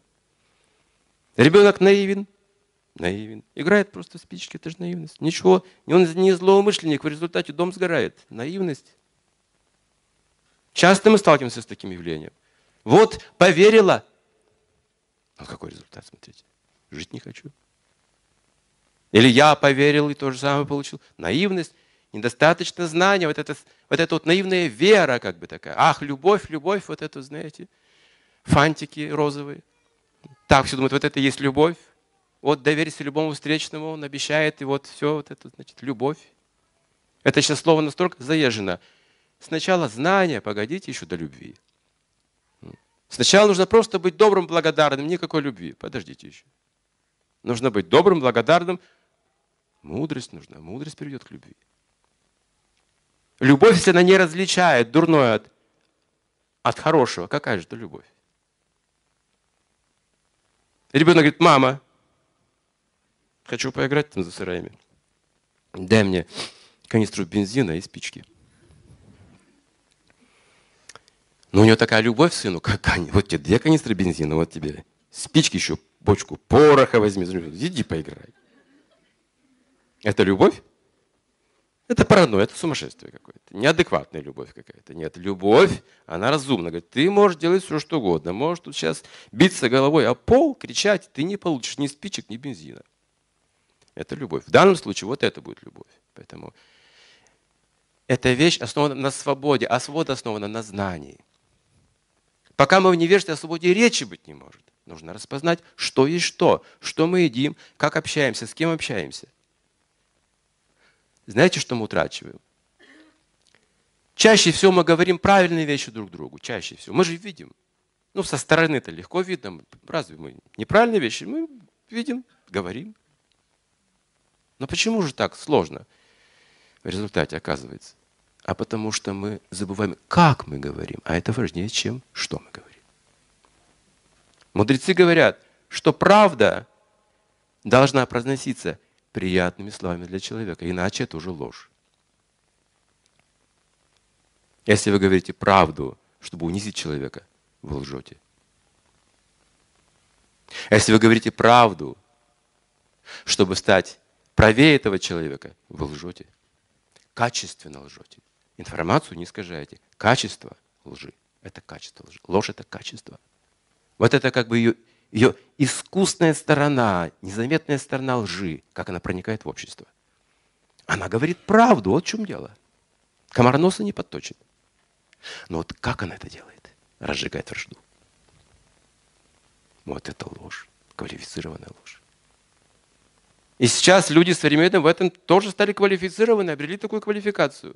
Говорить правду, уязвляя друг друга. О, какая правда. Это уже ложь. Что порождает проблемы. Настоящая правда, она умиротворяет душу, говорится. Она приятна для слуха. Даже если это правда неприятная, она подается в очень хорошей форме, уважительной. И тут, конечно, нужно научиться быть беспристрастным, независливым, как бы чистым сердцем. И как? За чистоту сердца отвечают наши возвышенные желания. Поэтому есть праздники, такие как Новый год и другие. Потому что здесь мы как раз обмениваемся самыми возвышенными желаниями друг с другом, сокровенными желаниями. Мы не говорим плохо ни о ком, ни о чем, мы не критикуем. Мы не говорим, сколько там любовника, любовниц у кого, и все, кто что своровал. Мы просто начинаем обмениваться самыми возвышенными желаниями, которые есть в сердце у каждого человека. И вот эта программа на целый год сохраняется.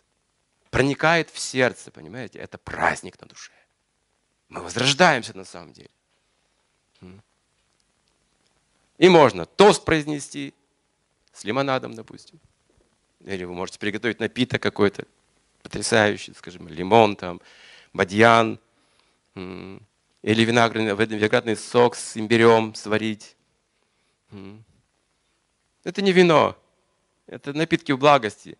Или сделайте варуни, пьянит в гуне благости, не алкоголь. Это йогурт, ну, кисломолочное, с медом и все. Сладкий такой, знаете, крутой, сладкий. Этот напиток тоже можно пить. Что еще можно приготовить? Салаты очень хорошо на Новый год свежие. Изобилие салатов здорово. Что еще? Горячий борщ без мяса с фасолью. Рис. Риса нужно много, горячего поставить, значит, чтобы жар шел от него. Такой плов с турецким горошком. Там не нужно мясо в этом случае. Каково? А? Вы что, праздник чувствуете? Нет, Новый год приближается. И главное, и главное, о чем вы будете говорить сейчас. Вот это самое важное. Ну, прежде чем решиться на такое, как я иногда делаю для людей, они это ценят. Я беру и читаю какую-то шлоку из Бага там сначала, за столом, чтобы настроиться. Вот так вот сразу говорить на какие-то э, темы, ну, без выпивки трудно же, понимаете. Поэтому я читаю какую-то шлоку, несколько минут говорю на эту тему, а потом все начинают учать. Оказывается, все могут что-то говорить на эту тему. У всех что-то есть, оказывается. Просто никогда этого не делали толком. И всегда это получается великолепно. Если даже не Новый год. Недавно я был в одной семье в Казахстане. Они меня пригласили. Там мать и дочь есть, еще есть брат у нее, этой дочери. Мать уже пожилая женщина. С отцом, с мужем она не живет, они отдельно живут. Не то, что разошлись, но так они живут. А вот дочь между ними так общается. Жила в Италии долгое время, знает английский язык, итальянский знает язык. Прослушала мои лекции по интернету. Вот. И узнала, что я в Алмате, она алматинка. Я говорю, так глазам не поверила, что тоже в Алмате. А адрес нашла уже потом и пришла в гости. Вот так, по интернету я тоже знакомлюсь. Клуб знакомств. Посмотрела, как мы живем, вот, э, ту атмосферу, в которой мы находимся, что мы едим. Сказала, все, это мое, уже давно мое, я давно уже даже практикую. Наконец-то я нашла вот своих друзей. Я хочу пригласить в гости, говорит, всю родню собрать, чтобы все там были. Я уже имею такой опыт родня, знаете, обычно не разделяет. Там, тем более Казахстан и, мы говорите, вегетарианство. Это еще не так просто в Казахстане. В России плевать, могу быть вегетарианцем, да, на зло другим, Россия есть Россия, понимаете. Это как бы маятник такой, знаете. От любви, от любви до ненависти один как бы удар гонга. Россия такое место, да, есть такое. Там люди более стабильны, семейные традиции, бишбармак и прочее. И старший, присутствие старшего, что ты будешь говорить? Нет, что ли? Оскорбишь? Ну, то есть там не так все просто. Говорит, родственников всех соберут, брат придет, мать там будет и все такое. Друзей приведу. Ну вот, я пришел. Да. Тоже с друзьями, они там готовили на кухне этот, всю эту освященную пищу вегетарианскую, там целый пир сделали, стол ломился. Там. До этого мы разговаривали, я что-то почитал, тоже вот настроен этот лад. И сели за стол. За стол вот это чистая пища, это чистота, понимаете? Чистота тем, чистота мыслей, чистота взгляда друг на друга уже меняется, понимаете? Уже уходят какие-то желания материальные. Тут еще за столом сели, вина нет, какие-то напитки диковинные, специи там тонкие и так далее. Не алкоголь вроде бы, а вот э, хорошо, не затуманивает сознание, наоборот, проясняет. И тут пошла, пошли салаты, пошло горячее, и мы, мы просто как одна семья сидели. Начали шутить, потом смеяться, и все было на высоком уровне. Ни одной пошлости не прозвучало. Ни одного грубого слова не прозвучало, ни одного конфликта не было. Все говорили взахлеб, потом не могли остановиться, каждый свои примеры жизни вспоминал, приводил. Это была потрясающая встреча, понимаете, в гостях праздник. И, конечно, у меня есть опыт памяти и других праздников, до того, как все это было, на, Новый год. Ужас. Нет, слава Богу, никогда больше. Ни за какие деньги. Вот может мне пообещать большие деньги, ни за что. Кто-то может пообещать большие деньги? Но я все равно ни за что не соглашусь. Поэтому можете смело обещать. Все равно не соглашусь. То есть такова моя решимость на эту всю жизнь, как бы нормально. В этом году я также встретился со своей сестрой. Еще раз, она не очень так к этому расположена. Сейчас все-таки мягче становится с годами. Раньше совсем было трудно. Мы с ней дрались все детство. То есть мы разные, хотя любим друг друга как брат и сестра, но вот так же в семье бывает, да? Что у нас вот как бы это чувство родства есть, сильное, у нее сильное ко мне, у меня тоже к ней. Но встречаемся, когда в детстве мы дрались каждый день почти с ней. Все это было интересно, были перемирия тоже такие, любовь была большая, брат и сестры, потом снова дрались. В этот раз встречаемся, она там с мужем пришла. В этот раз мы с ней не подрались, как раз приехали мириться с ней. Поэтому я все забыл тоже, я, как будто ничего не было. Обнял ее, давай сюда, иди, показывай, что там у тебя, там что-то операция была, там где-то, где. Стал там смотреть, там шутить с ней, как раньше в детстве. Хватать ее за нос. Э, так, мы детьми были, я вспоминал это. Вот я забыл это уже. Вот ее увижу, сразу хочу за нос схватить. Ну что вообще? Ага, в детстве так делал, не знаю почему. А она тоже что-то делала, била меня вот по этому месту постоянно. Я тоже забыл. Тут вспомнили, о, боже мой, детство наше. Вот эти все маленькие вещи такие тоже помогают. Вот. И вспомнили родню. Я говорю, а я был там, я в Георгиевку ездил там, где я же родился в Георгиевке. Мать родилась тоже в Казахстан. Я говорю, я был там, к тете Эли заходил, к нашей, это не знаю сколько уже лет.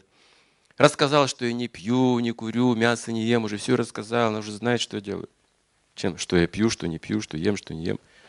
Она говорит, правда, со всеми пьешь? Говорит, и да, я говорю, нет, совсем, тетя вообще ни мяса, ни рыбы, ни яиц, ни алкоголя все эти годы, все, у меня вот духовная практика, вот должна знать, ты моя тетка. Вот я тебе честно говорю, что, чем я занимаюсь. Она потом говорит, а у меня вино есть, давайте. Свое, говорит, вино, можно же? Я рассказал сестре, а там муж у нее рядом сидит. Что, тетя Эля, говорит, я ей рассказал, говорю, по моим принципы, а она говорит, давай вина. И тут муж сестры говорит, а что, а давай правду. Так обрадовался, знаете, вот давно ждал этого, выпить со мной, знаете. И тут я спонтанно принес, говорю, нет, Кришна. Я не знаю, почему так сделал. Такой жест, знаете. Не знаю, почему так сделал, но вот этот звук сразу все изменил. Видимо, какая-то решимость у меня вот это так выразилась, такая вот моя твердость, что ли, вот моя уверенность такая, что еще. И все, они как будто ничего не слышали, сразу переключились на другие темы. Все тут же осистилось. Конечно, я понимаю, я понимаю, что внутри должна быть вера у человека. Чтобы делать такие вещи, конечно, нужна энергия внутренняя. Без веры наверняка будет трудно, потому что иногда мы скажем «хорошо», а иногда ослабнем, скажем «сегодня не получилось». Вот мы такие с вами сейчас. Непостоянство мы обнаружим. Вот пока мы слушаем и думаем, «А что и правда хорошо. Потому что другое послушаем, забудем. Ну, век Кали, вот он так устроен. Быстро люди забывают хорошие вещи, а плохие помнят долго. Чтобы убедить кого-то в хороших вещах, нужно 3 литра крови. Плохая вещь сама распространяется. Быстро. И все потому, что невежество, невежество, невежество, хорошие вещи выглядят плохими, плохие, как хорошие, видите, путаница в голове у людей. А нужна ясность. Ясность в желаниях. Тогда наша жизнь будет, конечно же, осмысленно направлена на цель и достигается цель в этом случае. Если она ясная и осмысленная, она достигается, конечно же. Если наша цель туманная, запутанная, как же мы достигаем? Мы не можем до конца тогда дожить как бы нашу жизнь, завершить ее должным образом. Не успеваю, потому что неясно было. Меняются концепции, меняется время, все перестраивается. То, чем я жил, сейчас все по-другому, человек думает. Как же жить дальше? Да как-то уж дожить надо. Ну, к такому концу можно прийти тоже неприятному. А мы хотим сегодня приятного конца. Хотим всех, конечно же, поздравить от души, что Новый год наступает. И он наступит через неделю.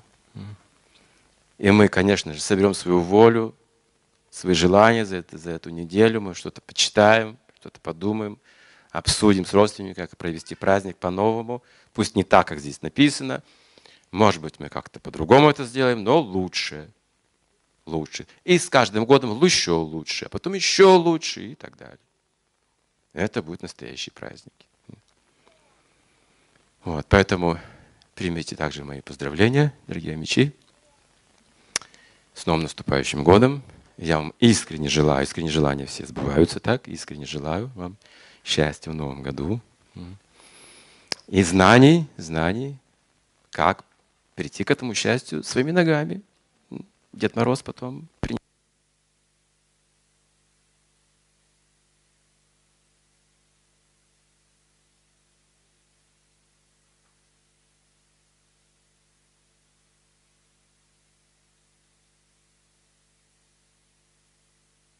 Раз, раз, возьмите.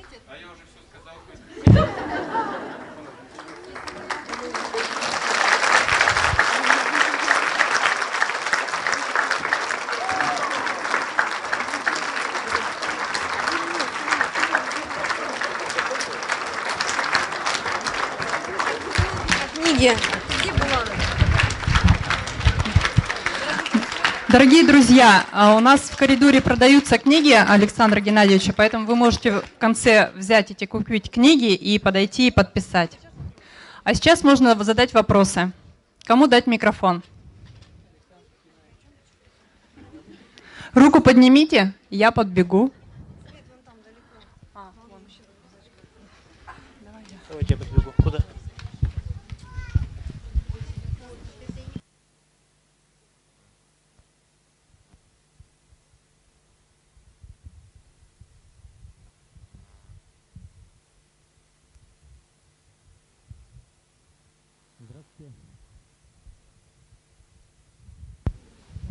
Раз. Здравствуйте. А вопрос такой, может быть, лучше вообще не есть на Новый год, лечь спать? Если после двух не ешь, допустим, как быть?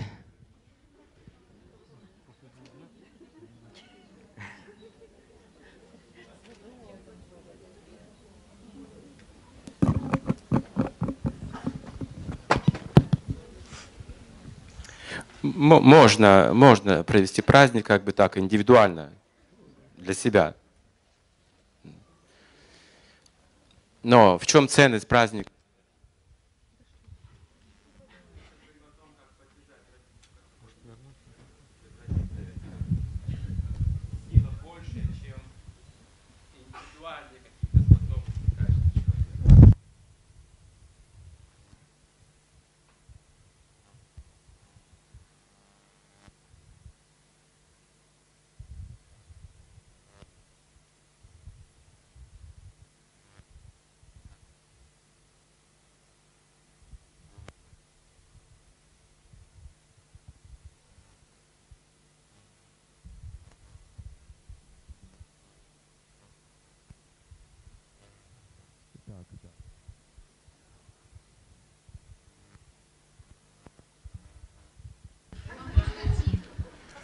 Сейчас, о, видите, вернулся микрофон. Мы говорим о возрождении традиции. Традиции очень сильны, потому что вовлечь как бы в свою индивидуальную культуру можно несколько лишь только человек. Традиция вовлекает миллионы людей, она этим сильна. Если традиция хорошая, возрожденная, то есть она очень могущественна и полезна. Как проводить праздники? Нужно восстановить традицию. Но если у вас нет возможности восстанавливать традицию, тогда индивидуально проводите праздник, как вы чувствуете. В этом случае традиция утеряна. Как вы относитесь к гомосексуалистам и транс... Транс... Ну, что-то вроде этого похоже. Я... Как я к ним отношусь? Я не вижу их. Я их, я их не вижу, не наблюдаю, не хочу их наблюдать. Я вообще не хочу наблюдать сексуальную сторону людей. Не в моей это как бы области знания. У меня есть это также сексуальная энергия внутри, просто я с ней работаю по-другому. Если она не очищена, эта энергия, она просто сексуальная энергия. Ну, обычная такая. Если ее поднять выше, она по-другому будет работать. То есть у меня вот цель работать с этой энергией, поднимать ее. Поэтому я соблюдаю эти принципы. Если не поднимать эту энергию, принципы нельзя будет соблюдать долго. Это трудно будет. Трудно и будет даже для психики разрушительно, может стать. Например, если вы хотите есть мясо и не едите, у вас будут проблемы с умом потом, с психикой. Если вы хотите секса и не занимаетесь, вы точно будете иметь психические проблемы. Любое желание неудовлетворенное порождает психические отклонения. Любое желание. Поэтому смысл первый – это ограничить себя в этих желаниях, а другой смысл – возвысить с другой стороны желание. Тогда вы не чувствуете проблем. То есть гармоничное развитие есть. Если просто скажете быть вегетарианским человеку, не, не, не раскрыв как бы этих тайн более тонких, то кухня скудная будет, и такое вегетарианство. Пища скудная, и разум тоже станет скудным. Истощение наступит. Поэтому имейте это в виду. Это культура, это настоящая наука, это нужно изучать. Не просто слепо что-то практиковать, какие-то правила там, откуда-то услышанные поверхностно. Хм. Э, гомосексуалисты, транс и прочее, прочее, прочее. Это э, люди, у которых повышенная сексуальность, гипертрофированная сексуальность. Мы рассказывали на своих лекциях не раз об этом, что сексуальная энергия должна быть ограничена браком. Браком. Мы приводили пример стакана с водой. Так? Стакан – это емкость для воды. Если такой емкости не будет, вода будет разлита повсюду, неприятности начнутся. Поэтому брак ограничивает эту энергию, берет внутрь себя. Так? За пределы брака не распространяется, верность есть. Чистота есть, порядочность, целомудрие есть. Вот это брак. Брак ограничивает, это его цель. Ограничить в благости. Любовь, верность, служение, дети, обязанности, вот это все как бы обучает нас контролю этой необузданной энергии. Ее можно контролировать, что муж контролирует жену с легкостью, жена мужа. Сам муж себя контролировать не может, сама жена не может. Друг друга могут, видите? Муж посмотрит, жена боится. Жена посмотрит, муж испугается. То есть они взаимно друг друга контролируют. Это брак. И воду льют в стакан, в этот брак. Вот это вожделение, эти чувства тоже там есть, вот она наполняется, но не больше, чем умещает эта емкость. Там тоже свои регулирующие принципы. Если же мы думаем, что брак – это неограниченные сексуальные наслаждения, я их сам сколько хочу ограничиваю, не ограничиваю, и могу там экспериментировать сексуальные еще какие-то эксперименты устраивать, до истерик доводить сексуальных друг друга, вода переливается через край, говорится, за пределы стакана вытекает. Естественно, появляется интерес к чужой жене. Потому что своя жена уже надоела – не зажигает. Все. Исчерпались. Быстро причем это. Это считанные годы. Все. Для брака это ничто. И начинается интерес. Вода переливается через край. Мы говорили, помните об этом? Мы давали такие лекции. И тогда уже своя жена неинтересна, чужая интереснее жена. Хорошо, хорошо. получил чужую жену. И не одну. Тоже насытился и присытился вожделение. Вожделение не удовлетворяется, оно течет дальше почему-то. Видите? Ничем не удовлетворить, ни женой, ни чужой женой. В конце концов возникает желание уже не к противоположному полу, а к однополым. Это тоже чувство, поймите, это тоже так называемая любовь. Чувство такое же, очень похожее. В этом, в этом, почему они сейчас побеждают по всему миру? Потому что это тоже чувство. Это не просто что-то, какое-то извращение страшное. Чувство, любовь. Та же любовь, но направлена уже по-другому. То есть вожделение, видите, находит объекты другие. Хорошо, ладно. А дальше что? А дальше уже не важно что. Если сейчас приводить примеры, не буду сейчас приводить примеры, но они растут, как мы предполагали в этих лекциях, куда этот путь ведет. Мы говорили об этом, помните, много лет назад. Мы много лекций привели на эту тему. Не знаю, кто слышал, кто нет. Развитие этой культуры, чем она закончится. Это предопределено уже. А потом неважно, будет животное это или человек, мужчина или женщина, кто бы это ни был, хоть кукла. Искусно сделано. Сейчас вот целое производство работает для того, чтобы создавать потрясающие муляжи. Секс-муляжи. А что потом? Отмаха. Потом человек интересуется плотью другого человека.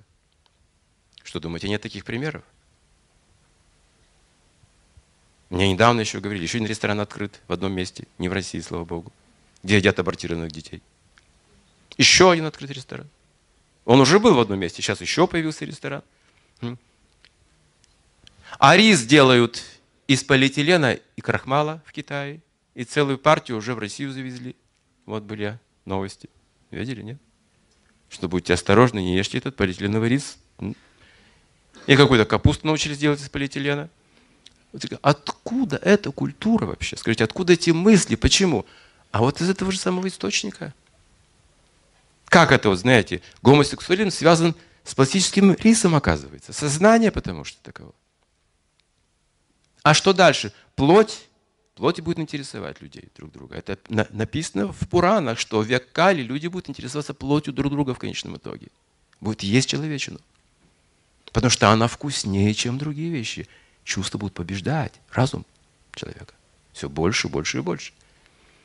И когда человек уже все испробовал, все испытал, любые вещи безнаказанно, остается последний шаг. Его наказывает собственный разум, как скорпиона наказывает его собственный яд.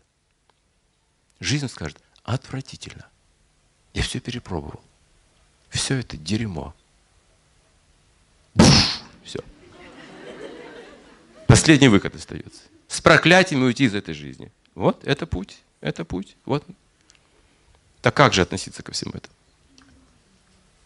Меня этот путь не интересует. Я не рассматриваю людей сексуально. Пусть все приходят и все практикуют, кто бы они ни были. Я надеюсь, что мы сможем очиститься от этих всех наклонностей, или даже то, что мы услышали, уже сквернило наш ум. От этого тоже нужно очищаться.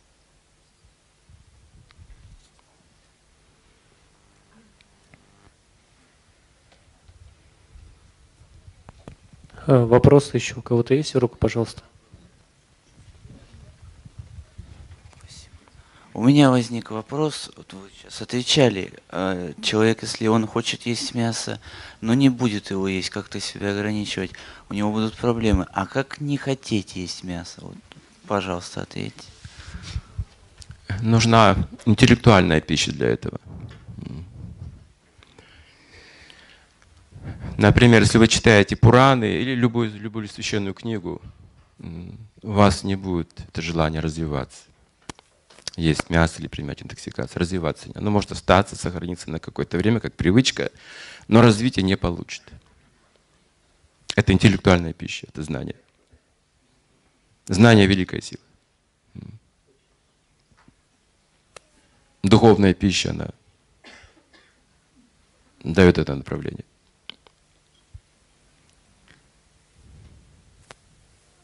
Видите, несложно это. Процесс простой очень. Важно это делать именно. Проблема в том, что люди сейчас не делают этого никто. Никто внимательно не изучает священные книги. Практически никто.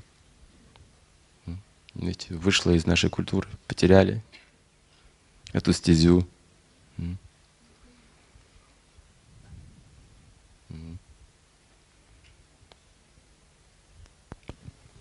Еще, Да, пожалуйста. Есть вопрос?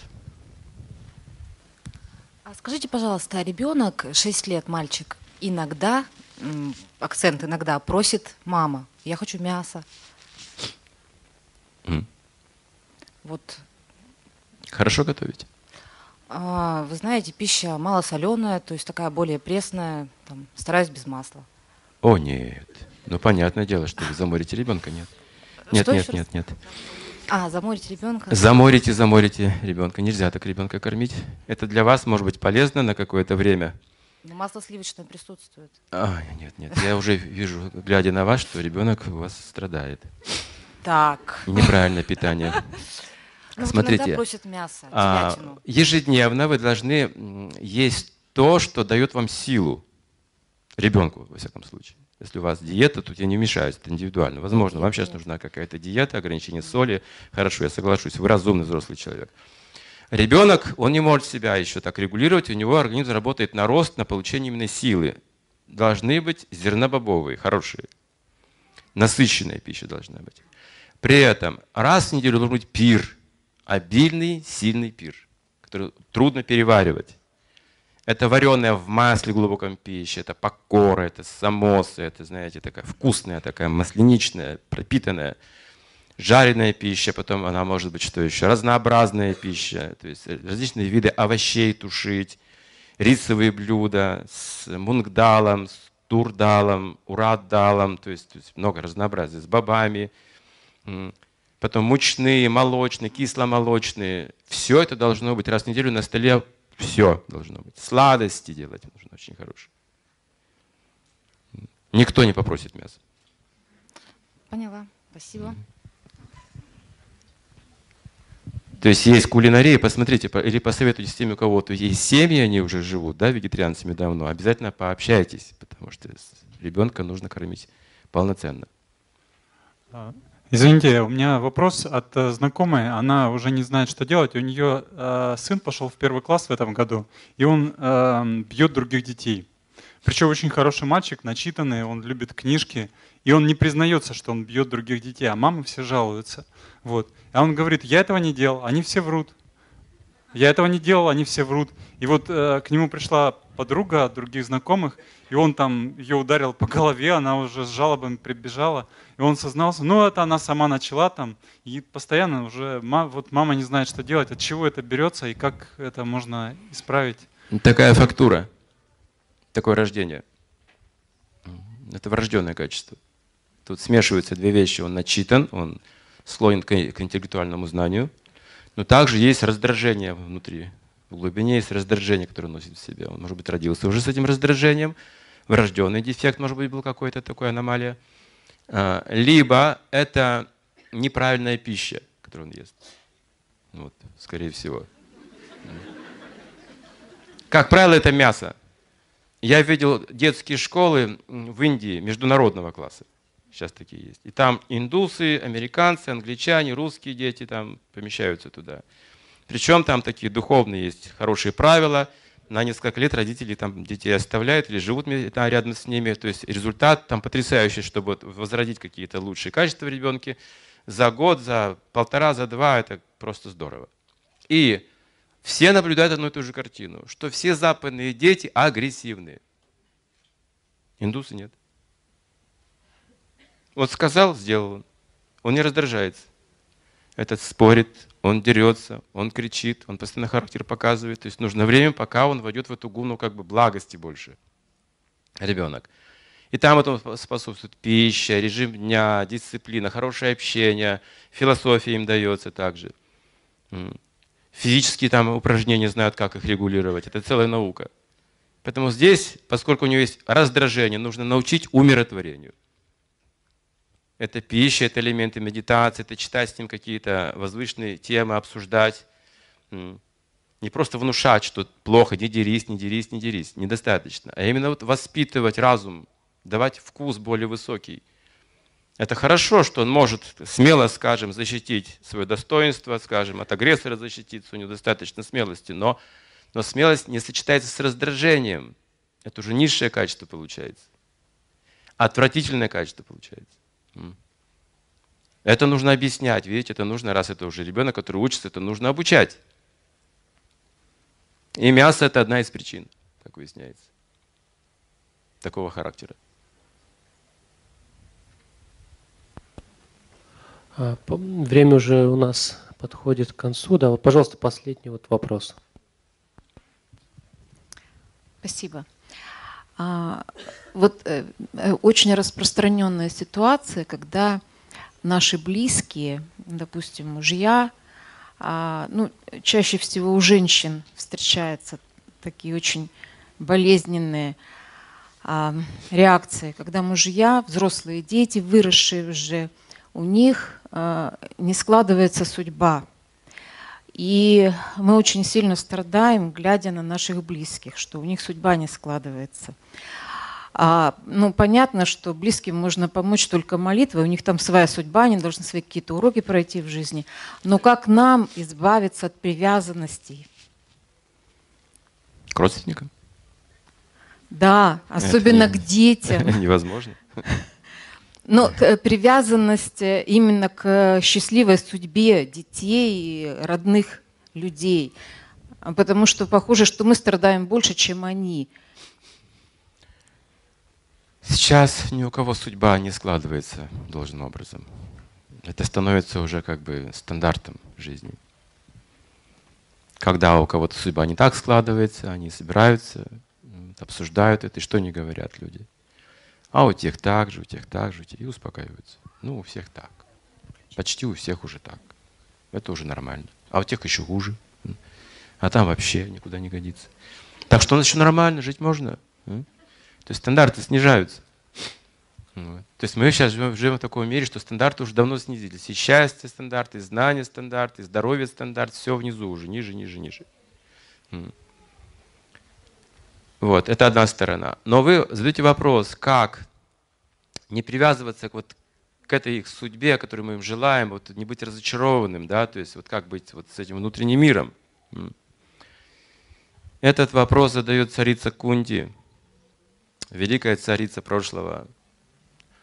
Она спрашивает об этом сверхдушу Кришну. Она говорит, ты приходишь, и тебя, тебя могут узнать только трансценденталисты, люди, обладающие духовным видением. Либо глубокие философы-мудрецы могут также как-то отличить твои черты, понять сверхдушу. Но как, скажи, быть нам, женщинам, которые не философы, не трансценденталисты по природе, которые просто привязаны к своим детям, к мужьям, к родственникам. Скажи, нам что делать? Такой на вопрос задает.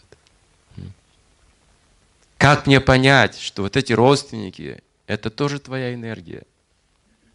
Это тоже ты, на самом деле. Что ты же повсюду, своя душа. И она молит его, дай мне это видение. Освободи меня от этой иллюзии, которая внушает мне, что вот это мои дети, а это мой муж, это моя страна. А дай мне более великое видение, что все это твои энергии, и мои дети, эта страна, это все от тебя. И тогда я уже не буду привязан просто к детям, а буду привязан к тебе, к твоей воле. Вот как она находит выход, видите? Пусть это будут мои дети, я должен знать, это тоже дается Богом. Пусть я привязан, да, но это тоже дано Богом.